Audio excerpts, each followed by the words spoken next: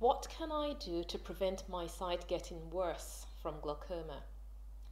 The interventions to conserve your sight once you have a diagnosis of glaucoma are being compliant with your prescribed treatment.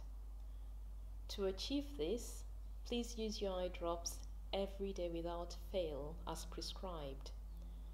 You may find that using a chart or setting a reminder alarm on your telephone would be beneficial. You could also link the use of your drop to a regular activity. For example, if you brush your teeth every morning and evening and need to use your drops at these times, you're more likely to remember your drops if you habitually use them just before brushing your teeth. Also, remember to attend all your clinic appointments regularly. Another helpful measure will be to stop smoking. People find that they achieve better smoking cessation if they get support from the smoke cessation clinic. Also, if you're diabetic, make sure that you have good control of your blood sugar.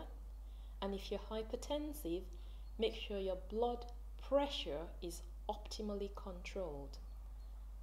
Too high as well as too low blood pressures are not good for glaucoma.